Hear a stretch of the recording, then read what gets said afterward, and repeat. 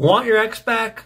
Five rules you must follow. Number one, stop all communication and contact. Number two, I want you to go have some freaking fun. Number three is I want you to go on some dates and start detaching from him and start the process of trying some other things. Number four is stay incredibly busy so you stop thinking about it. Now, all of these rules are assuming that he broke up with you.